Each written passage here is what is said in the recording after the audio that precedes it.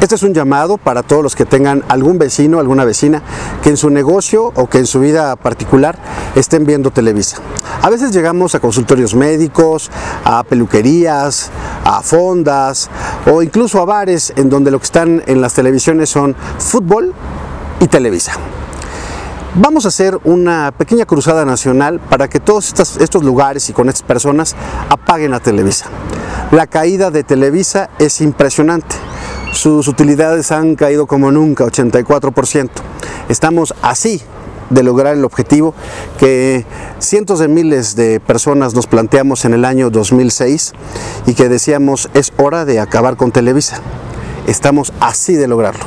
Ahora depende que tú, cuando llegues a algún lugar, pidas que cambien el canal, que ya no esté Televisa encendida y que además, si es posible, mejor apagues la televisión. Pero te lo decimos, es el momento en que tenemos que arremeter, porque estamos a punto de lograrlo. Y tú, tú sabes perfectamente que justamente el futuro de todos sigue estando en nuestras manos. Di a Televisa.